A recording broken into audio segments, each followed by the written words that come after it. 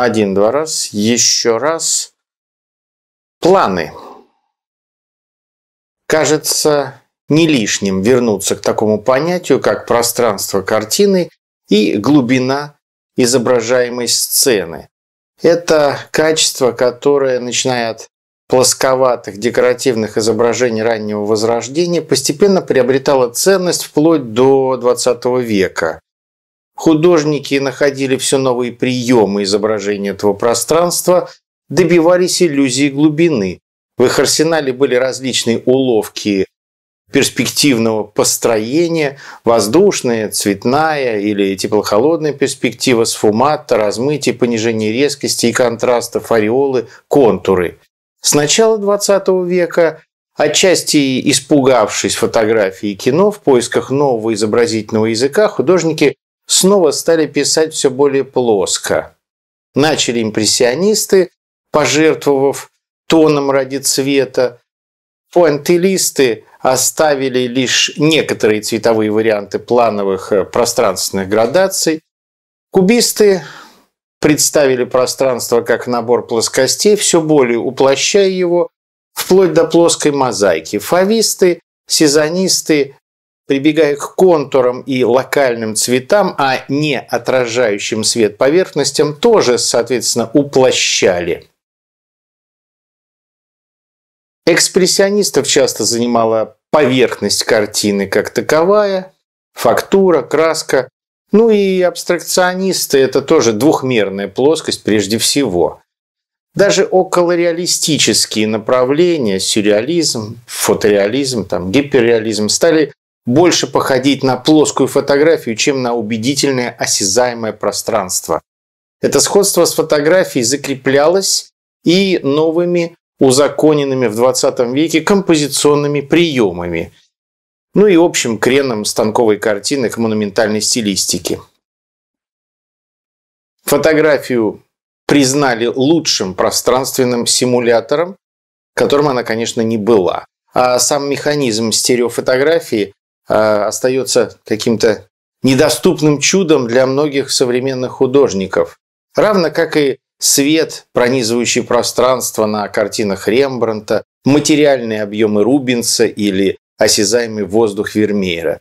Все это вводит в ступор современных творцов, которые ссылаются то на какие-то особые составы красок старых мастеров, то на недостижимую ныне технику письма.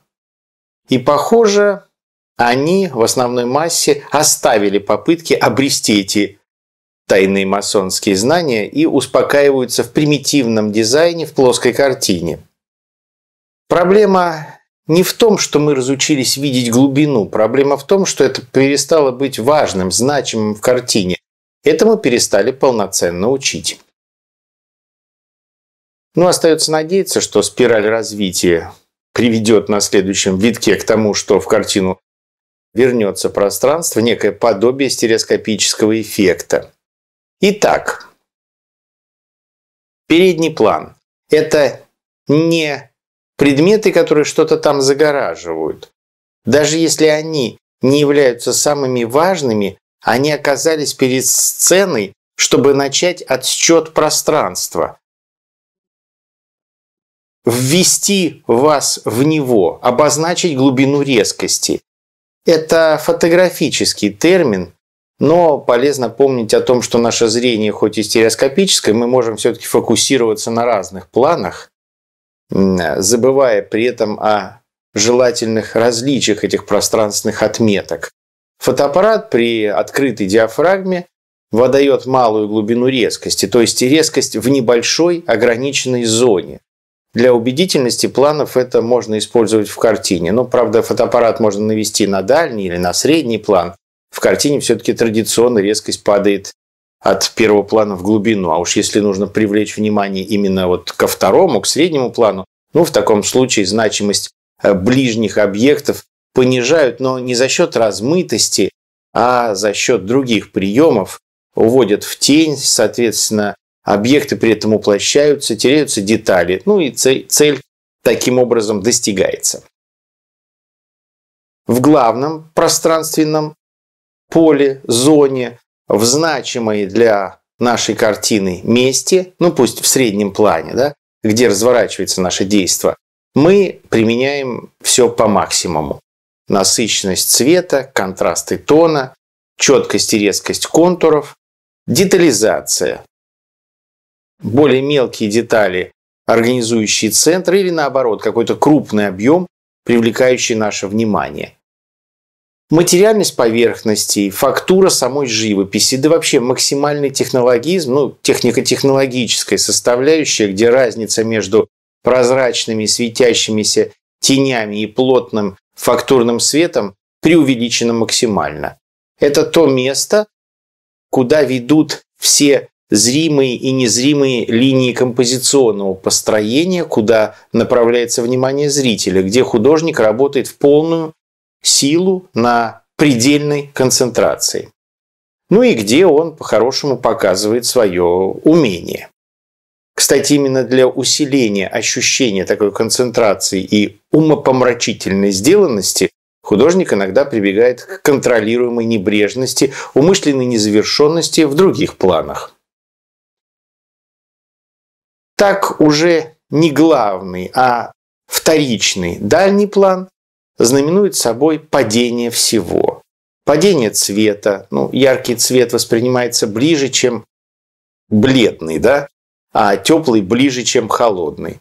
Кстати, именно этот невнятный, средневзвешенный цвет фона хорош для полутонов среднего плана.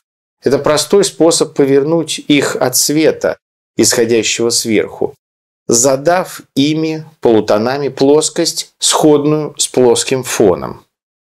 Этот средневзвешенный цвет, ну, часто вообще это основа колорита, такой условно окрашенный воздух, может быть чуть светлее или темнее вдали, но главное, что он менее контрастирует с окружением по мере удаления. Задний план – это падение контраста. Ну, свет в горах – это совсем не белый на черном. Квадраты шахматной доски по мере удаления становятся все менее различимы. Падение объемов приводит к тому, что дальний план – это плоские декорации, ну, хоть бывает и наслаиваются друг на друга, но все равно плоские. Часто происходит падение резкости и жесткости. Ну, действительно, угловатая линия кажется ближе, поскольку активнее, да, активнее плавной. То есть, грубо говоря, квадрат воспринимается всегда ближе, чем круг.